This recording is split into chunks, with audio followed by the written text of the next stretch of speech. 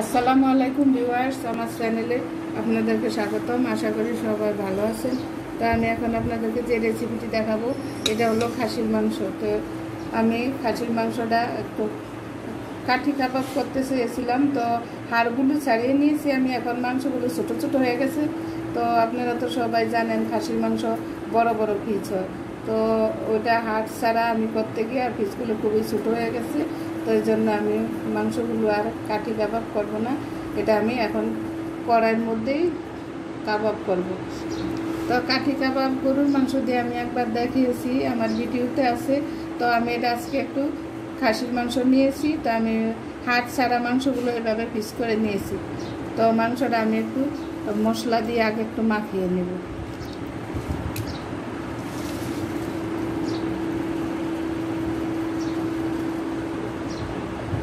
তা আমি স্বাদ মতো একটু লবণ দিব। এখানে আছে আমার রসুন বাটা, আদা বাটা, আর এখানে আছে একটু পেঁপে বাটা। একটু পেঁপে আমি ব্লেন্ড করে নিয়েছি। আর এখানে আছে একটু পেঁয়াজ বাটা। আর আমি দিব একটু সস।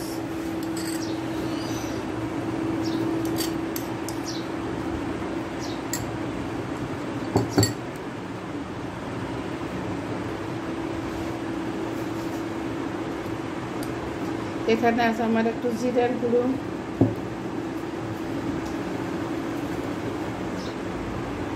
আর আমি একটু গোলমরিচের গুঁড়া দিয়ে দিব।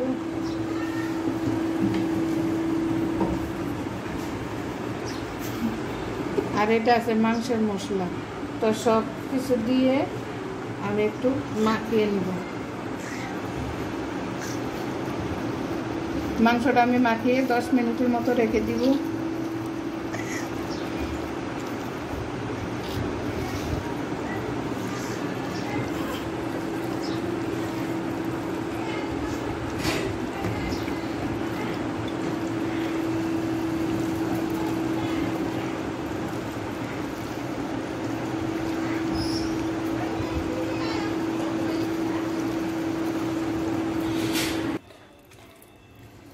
তো মাংসটা, মশলাগুলো আমি ভালো করে মাখিয়ে নিয়েছি। এখন আমি একটু মরিচের গুঁড়া দিয়ে দিব।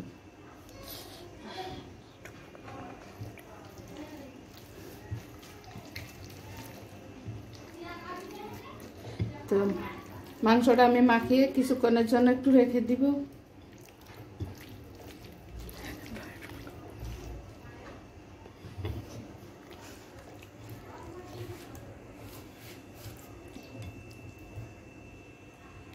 মাংসটা আমি দশ মিনিটের মতো ফ্রিজে রেখে দিয়েছিলাম, তো আমি এখন এটা বেজে নেব।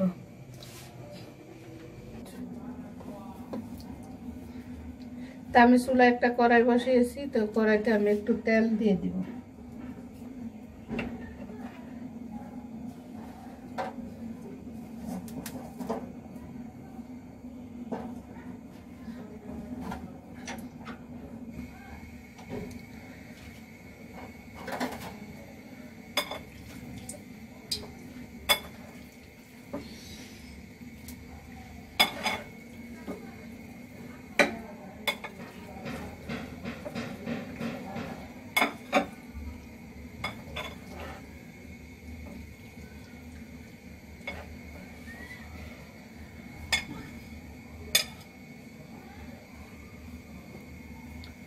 তো তেলটা আমার গরম হয়ে গেছে আমি এখন মাংসটা দিয়ে দিব।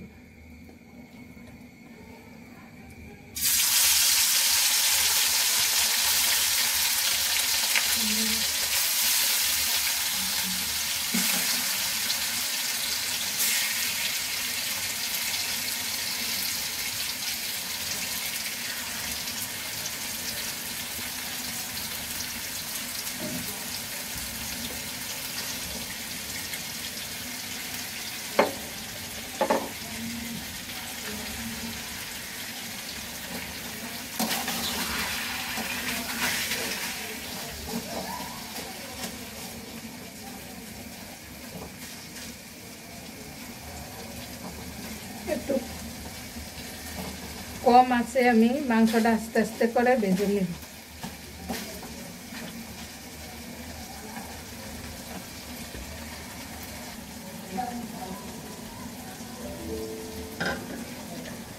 তো মাংসটা আমি একটু উল্টিয়ে দিব।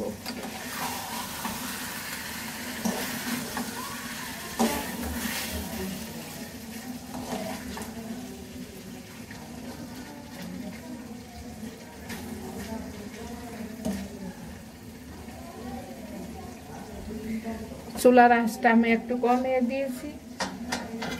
আস্তে আস্তে করে আমার এটা সিদ্ধ হবে, আমি এইভাবে ডেকে দিব। একটু পর পর আমি উল্টিয়ে দিব মাংসটা।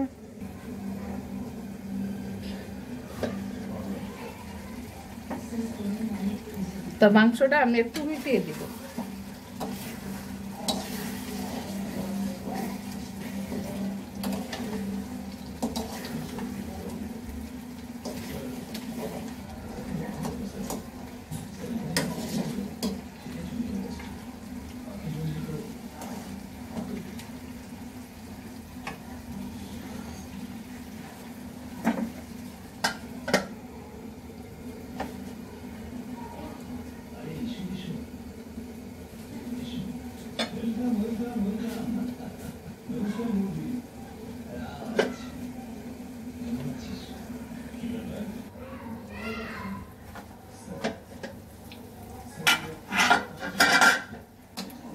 মাংসটা আমি একটু উল্টিয়ে দিব।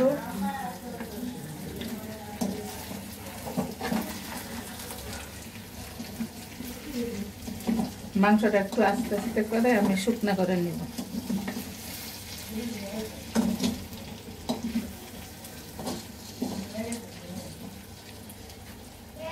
আমি আবার একটু ডেকে দিব মাংসটা।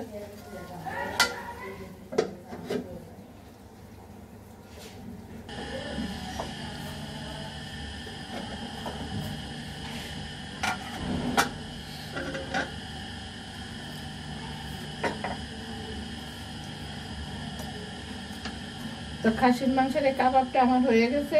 আমি আস্তে আস্তে করে একদম শুকনো করে নিয়েছি। মশলাটা একদম মাংসের সাথেও মিশে গেছে। তো আমার মাংসটা রান্না করা কাবাবটা আমার হয়ে গেছে। আমি এখন আপনাদেরকে পরিবেশন করে দেখাবো।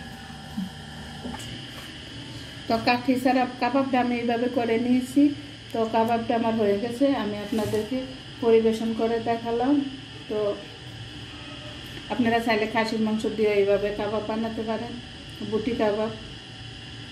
তো আমার এই কাবাব বানানোর রেসিপি যদি আপনাদের ভালো লাগে, তাহলে আমার চ্যানেলকে লাইক দিবেন শেয়ার করবেন কমেন্টস করে জানাবেন কেমন হয়েছে। সাবস্ক্রাইব করে আমার সাথেই থাকবেন। আর যারা এখনও সাবস্ক্রাইব করেন নাই, আমার চ্যানেলটিকে অবশ্যই সাবস্ক্রাইব করবেন। আর আমাকে এগিয়ে নিয়ে যাবেন, আমার জন্য দোয়া করবেন। সবাই ভালো থাকবেন। আবার দেখা হবে অন্য কোনো রেসিপি নিয়ে। আল্লাহ হাফিজ।